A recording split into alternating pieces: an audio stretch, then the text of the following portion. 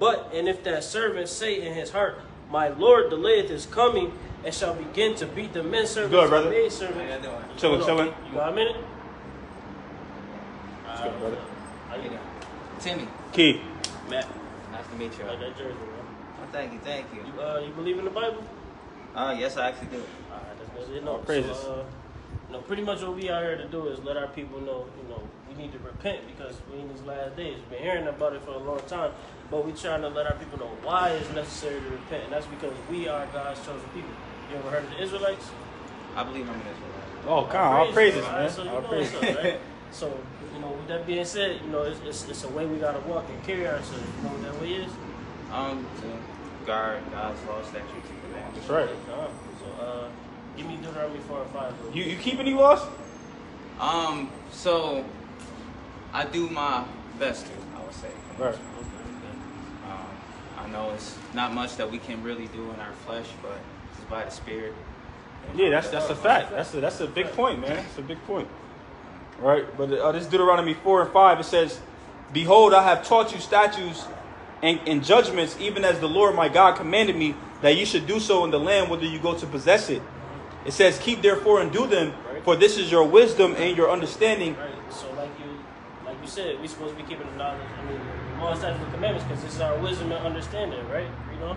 It says, "In the sight of the nations, which shall hear all these statutes and say, Surely this great nation is a wise and understanding people." Right. It says, For what nation is there so great who, who God who have God so nigh unto them as the Lord our God is in all things that we call upon him for? Right. So when we walking in the law, statutes, and commandments, the other nations look at us like we're, you know, oh, we're we're, we're a spectacle to them, right? On the, on the base level that we are now, we're a spectacle to them. But when we walk, it's an astonishment because they so used to seeing niggas, they don't, they're not used to seeing kings, Yeah. Uh, and right. princes, Right. and rulers, right? So when we walk in, you know, the ways of the heavenly Father, that puts us up here. You know, our people are so tired of being down here. We talk about breaking generational curses.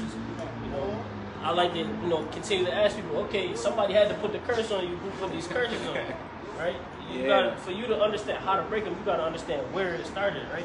We understand that it started with the heavenly Father. Right, and you make a good point when you said uh, it's really all about the spirit. Because even Christ said that in John the fourth chapter. He said, "The hour coming for um, the true worshiper is going to worship me in spirit and in truth." So, like you said, we you're not going to be saved by keeping the law perfectly, right? But we want to try to do it to the best of our ability. You see what I'm saying? Yeah. But but it's really all belief in, in His Son, Yahawashi, right? That's that's His true name in the ancient Paleo Hebrew. Yeah. But we know Him as Jesus Christ in the world, right? But that you're right about that. You got to uh, believe in Yahawashi. That's really where your salvation come from.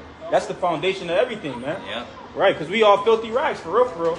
But through him dying for us on that cross, now we can receive salvation, man. Yeah. You know, so that's a beautiful point. No, yeah, I agree. Um, it's some things in the law that I looked over and I'm like, oh yeah, like, cause I don't eat pork. Yeah, all And praises. I'm already, man. I'm already allergic to seafood. so Oh yeah, all was- praises, man. But it's it's it's a bunch of things I feel like are really helpful that I could say many overlook. Right, Uh, I agree. Get Joshua one and eight. for. Pretty much everything in the law gonna be helpful, man. Man, That's a matter of fact. amen to that. Hold on, actually, uh, I got some scriptures too. Actually. You got the sword. You got your- oh, you got your Bible? Oh yeah. Oh man, I always stay strapped. All praises, man. All praises. All praises, man. Man, you always gotta stay strapped out You definitely Uh, do. Stay armored up, cause the enemy always trying to steal, kill, and destroy. Yeah. Come on. Satan going to and fro, seeking who he may devour, man.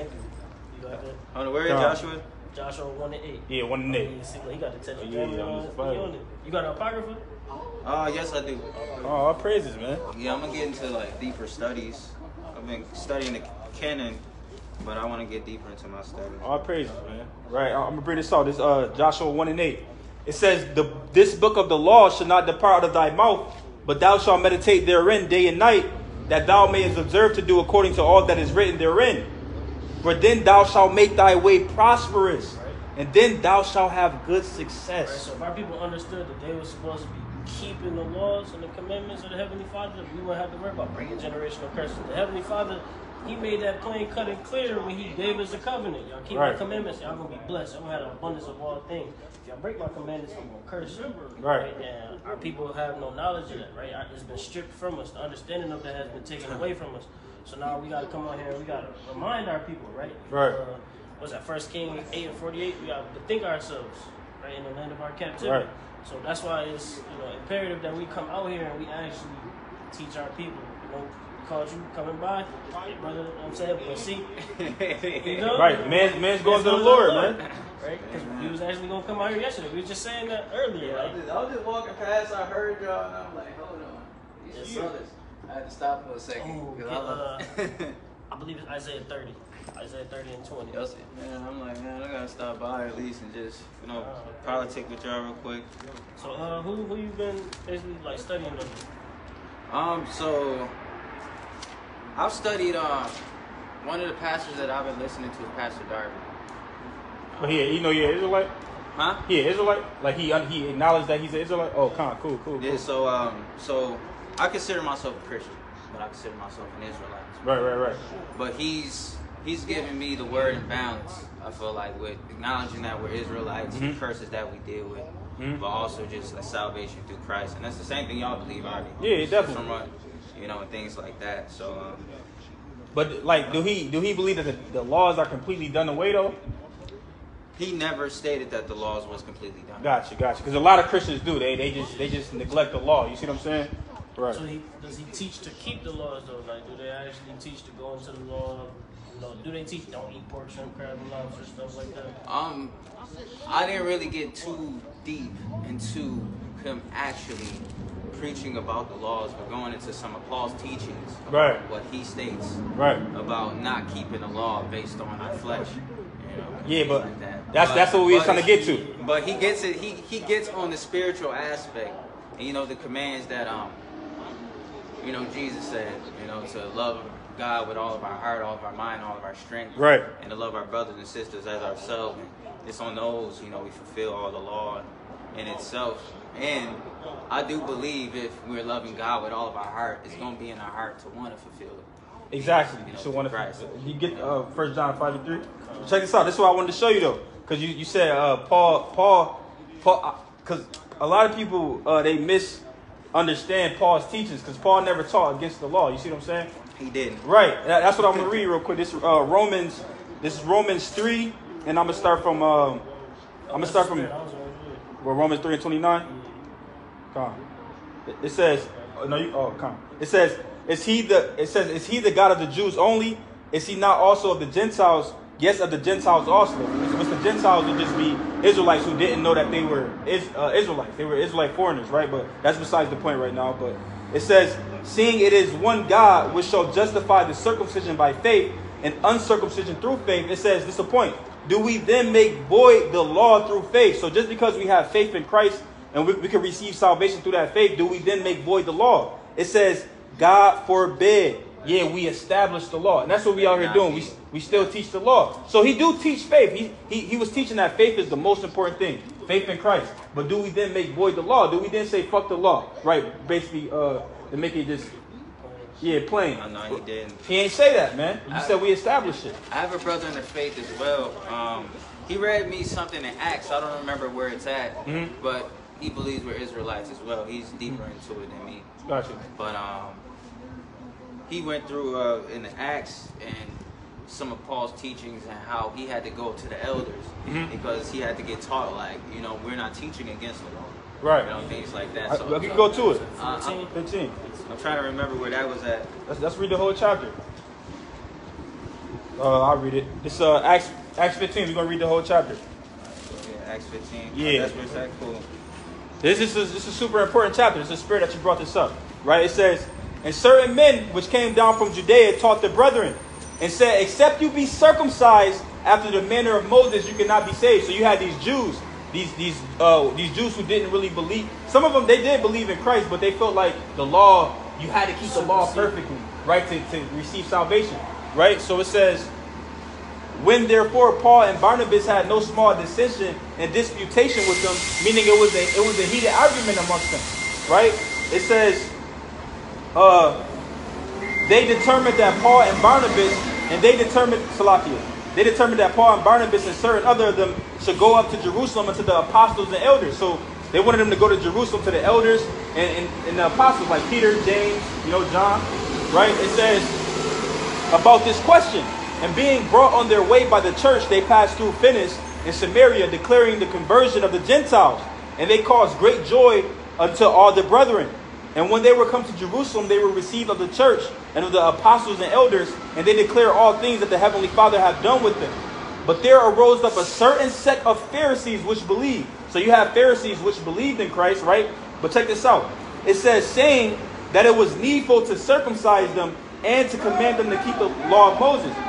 Right? So this is the point. They said the, the Pharisees was like, man, we they need to be circumcised and they need to keep the law of Moses. Right? Now check this out. It says, and the apostles and elders came together for to consider this matter. And when there had been much disputing, Peter rose up, which was the head of the church, right? So what he says matters a lot. It says, and said unto them, Men and brethren, ye know how a good while ago um, God made choice among us that the Gentiles by my mouth should hear the word of the gospel and believe. And God, which knoweth the hearts, bear them witness, giving them the Holy Spirit, even as he did unto us. And put no difference between us and them, purifying their hearts by faith. It says, Now therefore, why tempt ye God to put a yoke upon the neck of disciples? That, that yoke being telling them, you need to do this law, you need to do that law, you need to keep all these laws perfectly to receive salvation. That was a yoke to them. You know, because think about it this way. If you're just coming out the ways, for example, us, we coming out the ways of um, living like an American, you know, eating abominable foods, smoking weed, smoking cigarettes, messing up our lungs. You know, it won't be easy for us to just step in and just keep all every all 613 laws in the, in the, in the first five books. You see? So when we read on, we're gonna see what they did, right? Real quick, like for example, right? You know, three times a year, you know, all men Israel supposed to take that uh, trip to Jerusalem Right. for the, for the high holy days. We just regular dudes in America. We at the bottom of the totem pole nine times out of ten. We don't got the money to just Exactly. travel to Jerusalem. That's a yoke. That's a, a burden that's too heavy for us to. Exactly. You know? And that's how that's that's what the, the Jews were trying to do to these uh these new brothers that was coming into the faith. They're like, man, y'all need to get circumcised, y'all need to do this, y'all need to keep all these laws. But Paul and them was basically like, man, I gotta cut them some slack. They just now coming out the ways of the Grecians. You see what I'm saying? They was living like the Romans. Right? So a man, a, a grown man, he don't want somebody just come cutting the damn skin off his rod, man. You know? and so it says Uh, but we believe that through grace of the Lord Yahushua we shall be saved even as they, which we 100% believe, man. Right? It says, Then all the multitude kept silence and gave audience to Barnabas and Paul, declaring what miracles and wonders the Heavenly Father had brought among the Gentiles by them.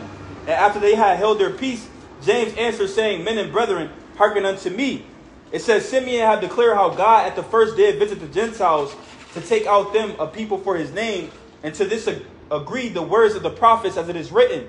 After this I will return and will build again the tabernacle of David, which is fallen down, and I will build again the ruins thereof, and I will set it up, that the residue of men might seek after the Lord and all the Gentiles upon whom my name is called, and the Lord who doeth all these things. Right? And we, we just read, no, we trying to get to a specific point, but I want to give you the full context. That's why we're reading it. It says, Known unto God are all his works from the beginning of the world. Wherefore my sentence is that we trouble not them. Right? So now he's speaking about these guys who's just coming into the faith again.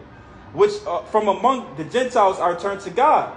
But that we write unto them that they abstain from pollutions of idols, which is in the law. You see?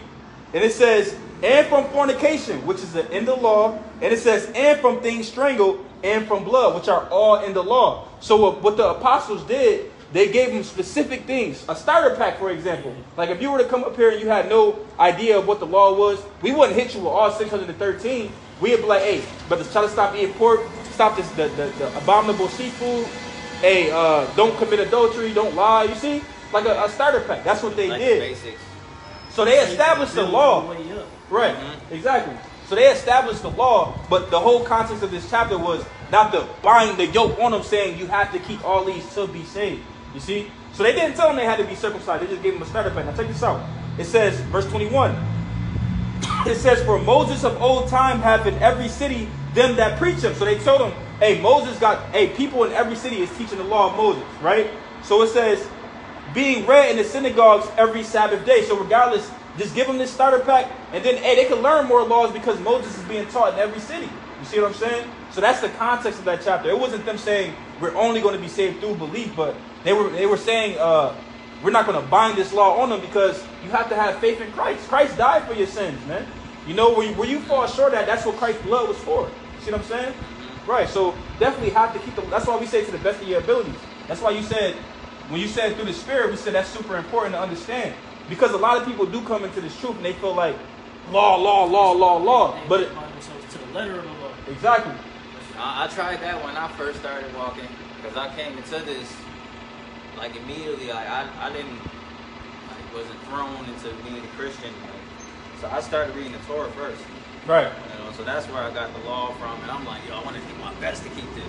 Realize I feel short every time. But when I learned the concept of Christ dying and He fulfilling the law, and then the things that He says and says that we should be like Him, Right. and if He fulfilled the law, and all things are possible with Christ strengthened us. Know, just like we put right here, all things God. That's a good God, point. Exactly.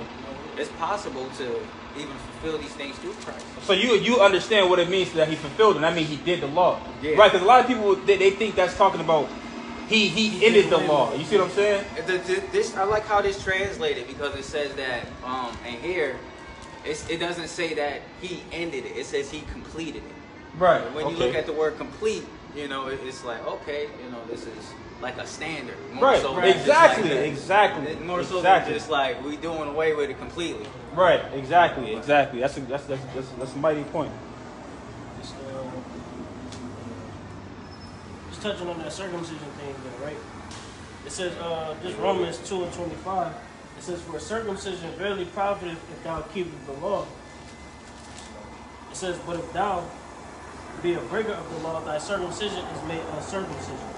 Therefore, if the uncircumcision keep the righteousness of the law, shall not his uncircumcision be counted for circumcision? So that's basically him saying, well, if, if, if you're circumcised, you knew you were supposed to keep the law, but you're not keeping the law, then you might as well not be circumcised, right? Versus if somebody's not circumcised and they're keeping all these other laws, they're not eating pork, not sugar crab, not being adulterous, right? Their righteousness has to be, you know, accounted for, right? It says,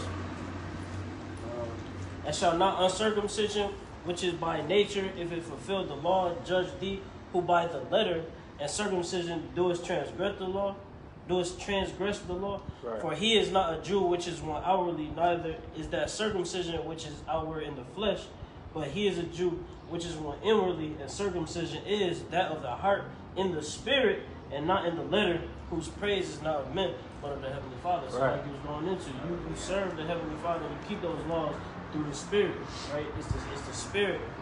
Hey, Yahweh said it's the spirit that quickened them, right? The law couldn't bring us life per se. You know what I'm saying? We was we was you know in debt to the law, and we was all worthy of death. That's why we needed Christ to come. Right. Hallelujah. Right, and I got uh, this is Matthew 5 and 17. Just touch on what brothers was going to earlier. Matthew 5 and 17. It says, Think not that I am come to destroy the law or the prophets. Right, this is red letters. How is Shai speaking? It says, I am not to come to destroy, but to fulfill. Right, and now I wanted to go to this real fast just to, because the scriptures tell you what he fulfilled when you go to Acts 3 and 18. Right, check this out. I believe that's what it is. Um, Acts 3, yeah, and 18. It says, oh, just let me know when you're there. I'm there. All right, Carl. I say, but those things which God before has showed by the mouth of all his prophets, right? So all the things you read about in the Old Testament about Christ, it says that Christ should suffer, he has so fulfilled. So that's what he fulfilled. The laws that I mean, the, um, the prophecies that were about him. Because you know when you read Isaiah 53, that's about Christ, right?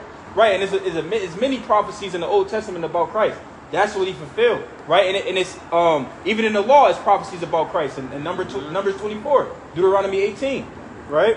Walk out there. Right. So going back to Matthew 5 and uh, 18, uh, 18 again, it says, For verily I say unto you, till heaven, till heaven and earth pass, one jot or one tittle shall in no wise pass from the law till all be fulfilled. And everything have not been fulfilled yet, man.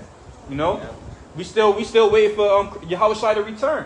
You see what I'm saying? So that's how you know the law is still active. But we don't we don't our our salvation is not based off how perfectly we keep the law. Because you know the parable, uh, the parable about the the publican and the um the Pharisee, when they were both in the temple praying, and one one thought he was better than the other. Yeah. Yeah, that that come that's that spirit of oh I keep the law better than this brother, so I'm gonna receive salvation and he won't. That's that's not what we teach, you know. But we do teach to keep the law to the best of your ability, man. So if you say you believe in Yahawashi and you, you don't eat pork and you, you try to keep other laws as well, hey, you on the right track, man. You know what I'm saying?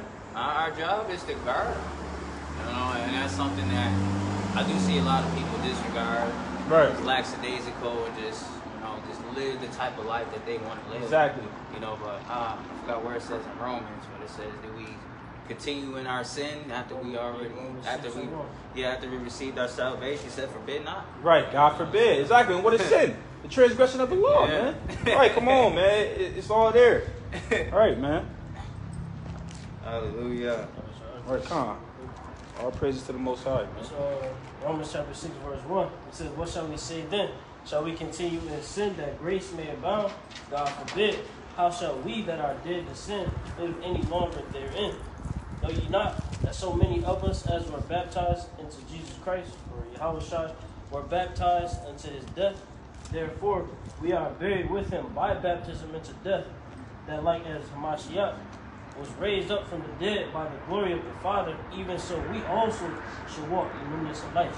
So we got newness of life through Yahawashi and him, you know, uh, being that sacrifice for us. So now we don't have an excuse to continue doing the things that Yahawashi came and died for. Yeah. That just would make his sacrifice null and void. It would be pointless. Right. And now this is Revelation 14 and, and verse 12.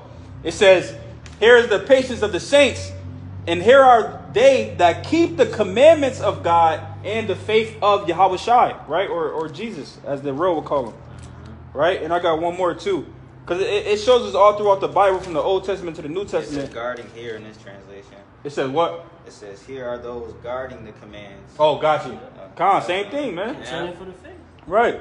And it's uh Revelation 21 and 8. I'm gonna start from 7. Revelation 21 and 7. It says, He that overcometh shall inherit all things. Because you read about in Romans the eighth chapter, it tells you that those that overcome, they're gonna be um joint heirs with Christ. And Christ is gonna have a kingdom of his own, man. You know, he's gonna rule over these different nations. That's that's pro- that's prophecy. Yeah. You know, he's gonna have a rod of iron, he's gonna rule over the nations. And it says, He that overcometh shall inherit all things. They're going to be joint heirs with Christ, right? Or with Yahawashi, right? Because we don't really like to call him with that, that word, with the real call him. We like to call him by his real name. You see what I'm saying? So, Carl, it says, and I will be his God, and he shall be my son, right? This is the point I wanted to get to. Verse 8. It says, but the fearful and unbelieving and the abominable and murderers, right? And thou shalt not murder is in the law, and whoremongers and sorcerers, all these things are in the law. It says, and idolaters and all liars shall have their part in the lake that burneth with fire and brimstone, which is the second death. And we know um, the lake that, that burneth with fire and brimstone is when uh, nuclear destruction comes to this earth, man. You know, and ultimately when um, uh, Yahawashi returns, right, it's going to be the lake of fire. That's going to happen here in America, man. You know, that's what we come out here to warn our people of. We want our people to repent so they don't have to, re, uh, to, to reap judgment, man. You know? That's why I actually appreciate y'all being out here. You know, we need so much more. We lost as a people. We lost everything, man. I read these curses. I, I I cry a lot, you know, just thinking about our people and just where where we at today. And it's like you want to throw the truth at them, and it's just like many don't get it, Right. You know, but I understand it's a it's a two thirds thing. See, hey man, you're on point, man. That's a fact. The Lord said the election have obtained it. It's not for everybody to get, man. You know, so you can't. You, when you come into this thing, you have that zeal. You want to stuff it down their throat, man. Yeah. Right? Uh, pause, but y'all, y'all know what I'm saying. Like you want to stuff it in their face, but, everybody ain't gonna get it. like literally we, you, you destroy relationships trying to get people to see the truth and Right. understand and, and ultimately that's why it lead up to you know those in your own household being enemies They- Right. they, they resent you because you trying to force religion on them or whatever Exactly. in their mind right and it's because they don't know the heavenly father but you know the heavenly father right Yeah, I was uh, said you know they don't know him right but we know him that's why we in the position that we in now Right. It's slave religion until you tell them who actually in the book. Exactly. Right. Exactly, man. They'd be like, oh well, now it's not to you But now. it's like you can tell that like Willie yeah. Yeah. right? Even, even you can tell like it's so deeply ingrained because they won't pick it up and read to find out for themselves. They just like, nah, they gave us that in slavery. But you'll see, even the white man himself will say, "Yeah, we took out seventy percent of the Bible when we gave the slaves the Bible." That Exactly. Specific. Exactly. Where do it say? I, I forgot where at. I think it's in Baruch, where it says we're gonna wake up in the land of our captivity. Two and thirty. Two, two and yeah. thirty. You know, I read stuff like that. Like, wow. You know. Yeah, man. That's what we waiting for, man. That's a fact, and that's what that's what's happening right now. We Oh, waking yeah, up. this, Right. It's We wake- happening right now. Right, man. That's that's a beautiful thing, man. You know. I'm I'm gonna catch this five, y'all. All right, be safe, brother. man. What's your name again? Timmy. Tim. I'm pretty sure I'm gonna see y'all around. Yeah, ho- Lord willing, man. You on Facebook? Yeah, Timmy Lane. Timmy. Timmy Clay. Nah, all praises to the Most High, man. You know, that's a beautiful thing, man. You know, you just you link up. Hey, that, that's the spirit of the Lord, man. That's the. Hey, it makes you feel good in the spirit because the brother came up with his own Bible. He already know he an Israelite, man.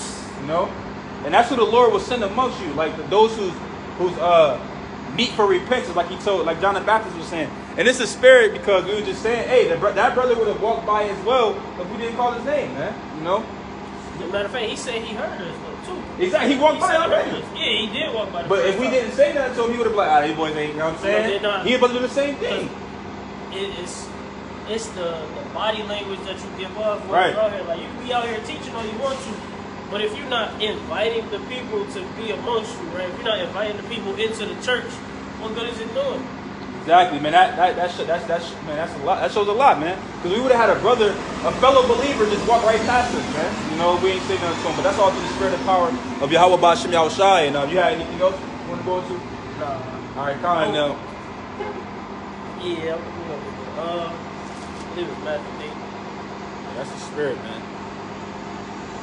uh. This is a book of uh, John chapter 16. Let's start at verse 20. It says, Verily, verily, I say unto you, and ye shall weep and lament, but the world shall rejoice, and ye shall be sorrowful, but your sorrow shall be turned into joy. A woman, when she is in travail, has sorrow because her hour is come. But as soon as she is delivered of the child, she remembereth no more the anguish for joy that a man is born into the world. So Yahweh is likening this unto our salvation, basically, right? Right. You know, right now be weeping and be sorrowful because we don't have the Lord with us, right? We're not reigning the earth in righteousness. I mean, ruling the earth in righteousness. You know, Yahawashi reigning. You know, the heathens they got their foot on our neck constantly, right? We we in the lowest state that we could possibly be in, right? But understanding that that hour is coming where we're gonna be delivered. That hour is coming where you know things are gonna change for the better, and it's not always gonna be doom and gloom, you know, curses, right? It says, uh, verse 22, and ye now therefore, and ye now therefore have sorrow, but I will see you again, and your heart shall rejoice, and your joy no man taketh from you.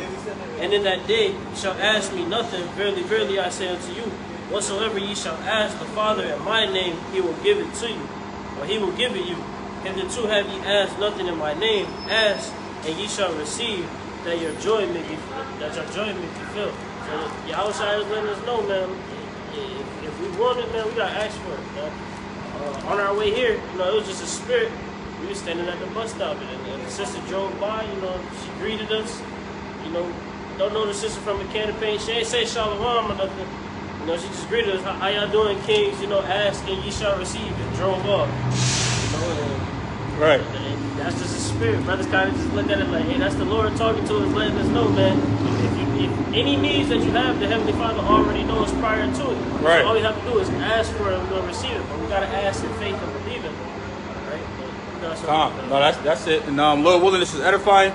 And be, uh, before we uh, close it out, we want to give all praise, honor, and glory to the Heavenly Father, Yahweh, Bahashem, Yahawashi, Bahashem, Rakakadash, and um, Shalom. Yeah,